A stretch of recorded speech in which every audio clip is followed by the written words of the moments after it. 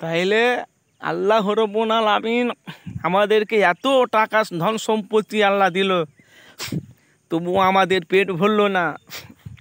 আল্লাহ রব্বুল আলামিন আমাদের বাড়ি, ঘাড়ি, টাকা, ঘর, সম্পত্তি ব্যাংক ব্যালেন্স সব, সমস্ত জিনিস আমার আল্লাহ রব্বুল আলামিন, তার বান্দা বান্দির আশাকে আমার আল্লাহ পূরণ করেছে। হ্যাঁ দুনিয়ার জমিনে কেউ বড় লোক আছে, কেউ গরিবও আছে। তো তো আমরা মুসলমান এমন একটা আমার ধর্ম নিয়ে আমরা দুনিয়ার জমিনে আল্লাহ রব্বুল আলমিন আমাদেরকে মুসলমানের ধর্মে আল্লাহ আল্লাহ আমাদেরকে আল্লাহ পাঠিয়েছে এর প্রশংসা তো আমরা আল্লাহর কাছে শেষ করতে পারব না, যেহেতু আমার আখিরি জামানার নবীর উম্মত উম্মতি করে আমাদেরকে দুনিয়ায় জমিনে পাঠিয়েছে সোহান আল্লাহ তো তো আমরা আমাদেরকে আমাদেরকে আল্লাহ রব্বুল আলমিন এত টাকা, পয়সা ধন সম্পত্তি আমার আল্লাহ রব্বুল আলমিন আমাদেরকে দিয়েছে।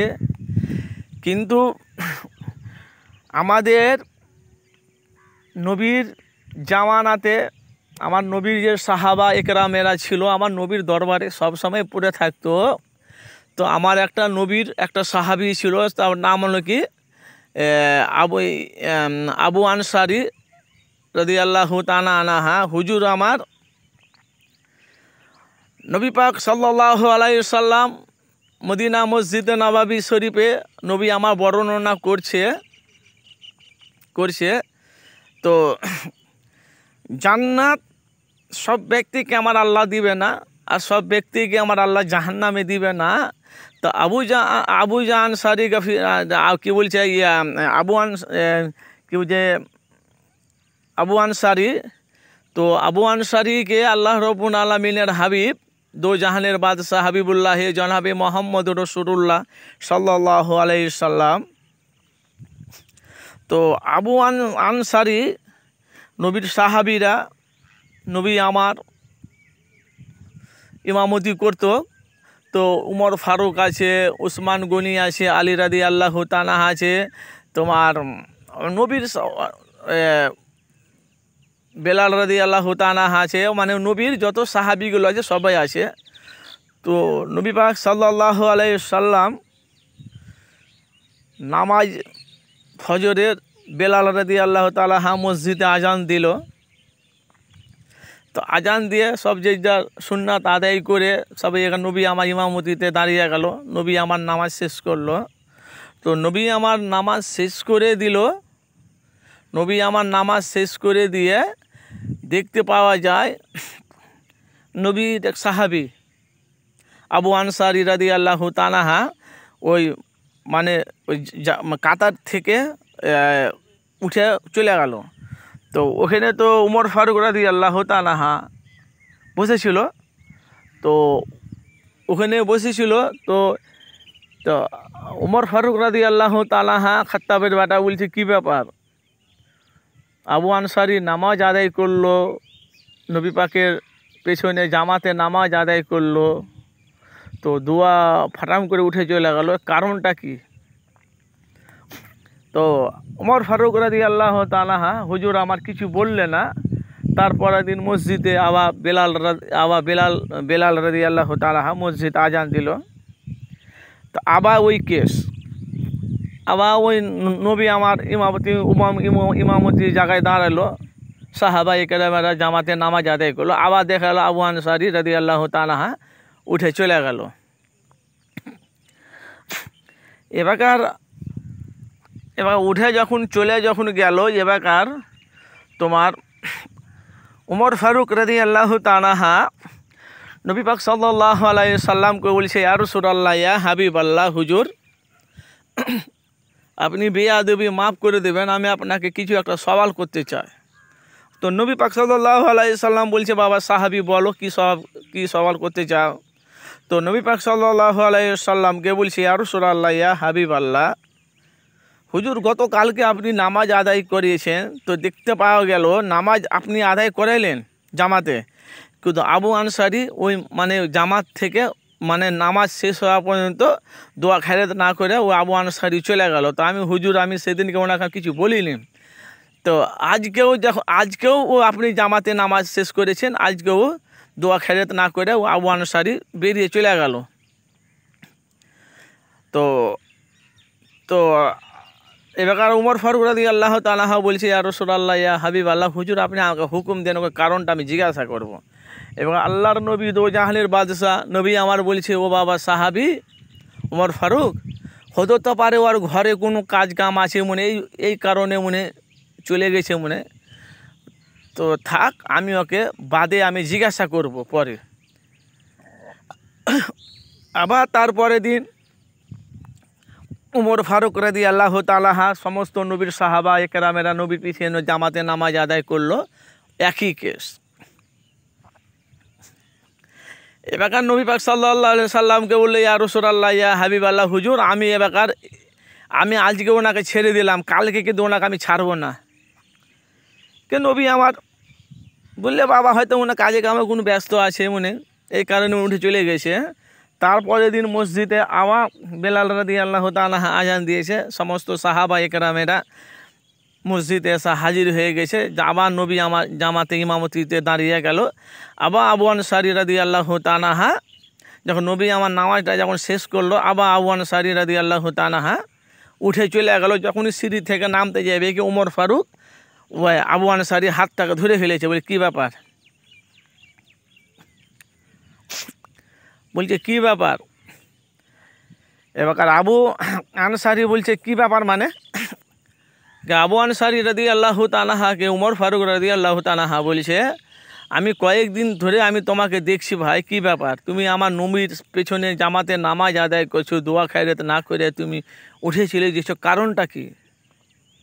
আর তুমি প্রথম দিন গেছো, আমি তোমাকে কিছু বলিনি, দ্বিতীয় দিন গেছো, তা কিছু বলিনি, তৃতীয় দিন আমার নবীকে জিজ্ঞাসা করেছি, আর চতুর্থ দিনের দিন আমি আপনাকে আমি ধরেছি আপনি রহস্যটা আমাকে বলেন আমি আপনি আমার নবীর পাখের পেছনে আপনি জামাতে নামাজ আদায় করলেন। আমার নবীকে আপনি বেয়াদু আমার নবীর সাথে বেয়াদুবি করে আপনি দোয়া খায়রাত না করে আপনি মজলিস থেকে উঠে গেলেন। কারণটা কি বলেন?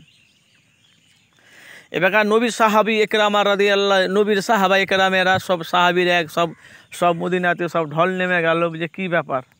এই তো খাত্তাবের বেটা। যে খাত্তাবের বেটা এক যে উমর ফারুক রাস্তাতে হাঁটতে গেলে চল্লিশ দিন শয়তান ও রাস্তাতে যায় না। তো নবী পাক সাল্লাহ আলাই সাল্লাম বলছে, বাবা সাহাবি উমর ফারুক ওনার হাতটা ছেড়ে দেন। বলছি আর রসুর আল্লাহ ইয়া হাবিব আল্লাহ হুজুর, ও যতক্ষণ না বলবে কারণ ততক্ষণ আমি ওনার হাত ছাড়বো না। তো এখানে নবী পাক সাল্লাহ আলাই সাল্লাম বলছে, বাবা সাহাবি আনসারি, তোমার রহস্যটা কি আমাকে একটু বলেন? বলছে, ইয়া রসুল আল্লাহ ইয়া হাবিব আল্লাহ হুজুর, আমারও মন চাই তা আমি আপনার আমি আপনার সাথে দোয়ার মজলিসে আমি দোয়া খেরেত করি। কিন্তু ইয়া রসুল আল্লাহ ইয়া হাবিব আল্লাহ হুজুর, আমি এমন একটা পরিস্থিতিতে আমি পড়ে আছি। তো পরিস্থিতি পড়ে আছি, আমি আপনাকে না বলে আজকে থাকতে পারব না। আজকে আমি আমি আজকে আপনাকে, আমার মনের কথাটা আপনাকে আমি প্রকাশ করে আজকে বলে দেবো আমি। তো ইয়া রসুল আল্লাহ ইয়া হাবিব আল্লাহ হুজুর, তাহলে শুনেন আপনি কয়েকদিন আগে আমাদেরকে মদিনাতে মসজিদে নবাবী শরীফে আপনি বলেছিলেন বলেছিলেন, তো আসসালা তুমি রাজুন মমিন মমিন হলো আল্লাহর দিদার আসসালা তুমি তাউল জান্নাত, নামাজ হলো জান নামাজ হলো জান্নাতের চাবি। তো তো নবী পাক সাল্লাহ আলাইসাল্লাম যখন এ কথাটা যখন, আমার নবী যখন বর্ণনা করেছে তো মমিন হলো আল্লাহ পাকের দিদার, আর মমিন হলো আল্লাহ পাকের দিদার, আর নামাজ তো আমাদের হলো জান্নাতের চাবি। তো ইয়ার রসুল্লাহ ইয়াবি হাবিবাল্লাহ, আপনি যখন আমাদেরকে বললেন, তো জান্নাতে জান্নাতে সবাই যাবে, তো জান্নাতে সব ব্যক্তিরা জান্নাতে যাবে না, সব ব্যক্তিরা জাহান্নামে যাবে না। তো ইয়া রসুলাল্লাহ, ইয়া হাবিব আল্লাহ হুজুর, তো আপনি যখন আমাদেরকে বলেছিলেন তো আমরা তো সব সাহাবি একরামারা আমরা সব ছিলাম। তো ইয়া রসুলাল্লাহ, ইয়া হাবিব আল্লাহ হুজুর। তো আমাদের স্বামী স্ত্রীর পোশাক হলো একটা। ইয়া রসুলাল্লাহ, ইয়া হাবিব আল্লাহ মসজিদে যখন আপনি যখন বেলাল রাদি আল্লাহ তালাহা যখন মসজিদে যখন আজান দেয়, মসজিদে যখন আজান দেয়, তো ইয়া রসুল আল্লাহ ইয়া হাবিব আল্লাহ আমরা স্বামী স্ত্রী গর্তর মধ্যে আমরা থাকি। আমার স্ত্রী যখন কাপড় পরে যখন ওপরে যখন ওপরে যখন কাজ কাম করে, আমি তখন উলঙ্গ অবস্থায় আমি ওই কুয়ার কুয়া একটা ঘরের মধ্যে আমার একটা কুয়া আছে ও কুয়ার মধ্যে আমি থাকি। মসজিদে যখন আজান দেয়, আমার স্ত্রী আমার স্ত্রীকে আমি ওই কুয়ার গর্তর মধ্যে আমার নামিয়ে দিই। তারপরে আমি ওই পরনের কাপড়টা পরে মসজিদে আমি জামাতে নামাজ আদায় আদায় করি। ফজরের। ইয়ারসুর আল্লাহ ইয়া হাবিব আল্লাহ আমি হুজুর, আমি এই কারণে আমি আমি দোয়ার মজলিসে আমি থাকতে পারি না। এ কারণে ইয়ারসুর আল্লাহ ইয়া হাবিব আল্লাহ মসজিদে ফজরে যখন আজান হয়ে যায়, নামাজ যখন হয়ে যায়, সামা নামাজের অক্তের টাইমটা কম থাকে। তো এই জন্য ইয়ারসুর আল্লাহ আমি আমি এই জন্যে আমি দেরি করি না। আমি যদি নবীর, আমি যদি আমার নবী পাক, আমি, পেছনে যদি আমি যদি দোয়া খেয়ে যদি সময়টা যদি আমার লেগে যায়, তা আমার স্ত্রীর নামাজটা কাদা, কাজা হয়ে যাবে। এরসুর আল্লাহ ইয়া হাবিব আল্লাহ হুজুর, এই কারণে আমি দেরি এই কারণে আমি দেরি করি না। আমি যখনই আপনি নামাজ যখন শেষ করে দেন জামাতে, তখন আমি উঠে আমি ঘরে চলে আসি। ঘরে উঠে এসে আমার স্ত্রীকে আমার পরনের কাপড়টা আমি দিয়ে দিই। আমি উলঙ্গ হয়ে গর্তর মধ্যে নেমে যাই আবার। আর আমার স্ত্রী তখন পরনের কাপড়টা পরে তখন নামাজ আদায় করে ফজরে। তো ইয়া রসুল আল্লাহ ইয়া হাবিব আল্লাহ হুজুর, এই কার- এই জন্যে আমি আমি ফজরে দুয়ার মজলিসে আমি থাকতে পারি না। তো আল্লাহ নবী পাক সাল্লাহ আলাই সাল্লাম কথাটা শুনে বলছে, ইয়ার এও আমার সাহাবি আবু আনসারি। আল্লাহ রব্বুল আলমিন, এর ইজ্জত, মর্যাদা আল্লাহ রব্বুল আলমিন আপনাকে জান্নাত, আল্লাহ আপনাকে করবে। তো আমরা মুসলমান, আজকে আমাদের ঘরে কত জামা কাপড়, পোশাক, এত কিছু দিয়েছে, আমাদের কোনো হিসাব নাই। এত আল্লাহ রব্বুল আলমিন আমাদের টাকা, ধন, সম্পত্তি দিয়েছে, এত আমাদের জামা কাপড় আছে, কিন্তু আমাদের জামা কাপড়ের হিসাব নাই। তবুও আমরা মুসলমান, আমরা পাঁচক তো নামাজ আদায় করতে পারি না। তো এই জন্যে আমি আপনাদেরকে বলছি, পৃথিবীর জমিনে বাঁচতে গেলে নবীর সুন্নাত আদায় করতে হবে। আল্লাহ নবী হাদিস পাকে জানিয়ে দিয়েছে মান্তাম মান্তামাসা কাবে সুন্নাতি ইন্দা ফাসাতে উম্মতি ফালাহু আজরু মিয়াদা শাহিদিন আল্লাহ নবী বলেছে, দুনিয়ার জমিনে যে আমার একটা সুন্নাতকে তাবেদারি করবে আল্লাহ নবী বলেছে যে আমার একটা সুন্নাতকে যে তাবেদারি করবে আল্লাহর নবী পাক সাল্লাহ সাল্লাম তো তো আমরা নবীর আমরা সুন্নাত আদায় আমরা করতে পারি না। তো নবী পাক সাল্লাহ সাল্লাম আমরা নবী বলেছি আমাদের, আমাকে দেখে ভালোবাসতে হবে না, আমরা সুন্নাতকে তোমরা ভালোবাসো। মান আহাব্বা সুন্নাতি ফাঁকাত আহাব্বানি ওয়ামান আহাব্বানি কান আমায় ফিল জান্নাত। নবীকে ভালোবাসলে হবে না? নবী বলেছে আমার চরিত্র আখলাক চলাফেরা কথাবার্তা, আমার এগুলো আমার ফলো করো। এগুলো আমার ফলো করো, তবে নবী, আমি আমি নবী খুশি হব তোমাদের উপরে। আর আর আর মান, আর নবী পাক বলে দুনিয়া জমিনে যে আমার একটা সুন্নাতকে জিন্দা রাখবে, হাসরের মাঠে ময়দানের সাহারে আমি নবী ওনার জন্য, আমি সুপারিশ করার জন্য অজীব হয়ে যাব। তো তো আপনারা দোয়া রাখবেন। আল্লাহ যেন আমাদেরকে ন্যায় পথে, সৎ পথে চলার মতন যেন আমার আল্লাহ রব্বুল আলমদিন আমাদেরকে তৌফিক দান করে। আপনারা দোয়া করবেন। আর বিশেষ করে আপনারা কেউ নামাজ কেউ খাজা করবেন না।